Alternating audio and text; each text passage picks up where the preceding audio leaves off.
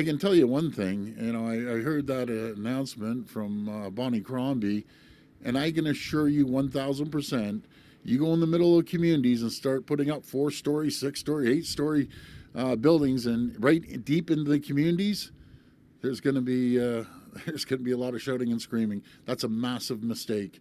We we are not going to go into communities and build four story or six story uh, buildings beside residents like this. It's uh, it's it's off the table for us. We're going to build homes, single dwelling homes, town homes. Uh, that's what we're going to focus on.